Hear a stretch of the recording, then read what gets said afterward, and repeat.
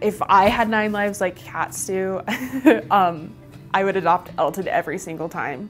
There would be no question about that. I first saw Elton on the Best Friends Instagram page. It was during an adoption special for senior cats, and he just stood out to me. So I knew he was a hospice cat, and I didn't know much else other than that he had cancer. And that's when I decided that I want to give this cat a home for sure.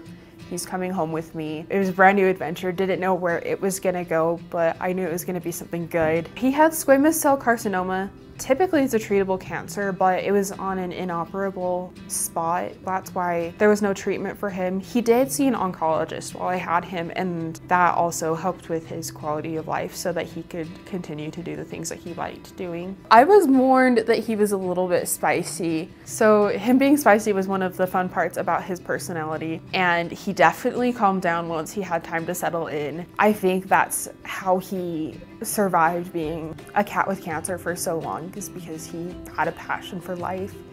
He loved to play, he loved his brothers that he got to have in our house. I wanted him to know like what a family was and that he was part of a family. I wanted him to feel really confident. He loved everyone in my family. He would sit by my dad while my dad worked from home. He was a joy to have around completely.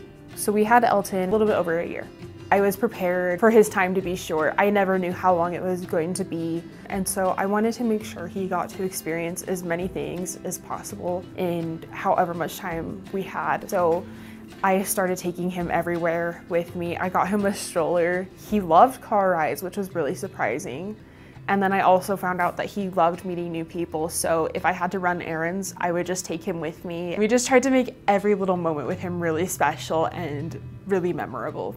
There's nothing I regret about adopting Elton. I would definitely do it all over again. One of the things I was the most worried about is that I wouldn't know when it was time for him to go because as a pet owner, sometimes that responsibility falls on you to make that decision. I was always thinking about his quality of life and like, is he happy? He definitely had more good days than bad days. And even the day he passed, he was still so happy. He woke up and he said good morning to everyone. I did a lot of just living in the moment with him. And I think that's what was so life changing about it. Sometimes life is short and when you find a moment to go experience, you've got to take it.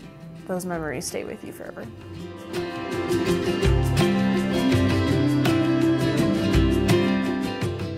I got Elton's paw print tattooed on my arm. It's from an ink print from him. While he passed, I sang him an Elton John song just to comfort him and that's the lyrics to the song I sang him. He completely changed my outlook on hospice animals and myself being able to adopt a hospice animal. I didn't think I was someone that had the capacity to do that before I adopted Elton. I really want people to have an open mind to thinking about adopting a hospice cat. It can seem like it's going to be a really scary thing, but in the end, it wasn't really scary. It was a really beautiful time that I had with him.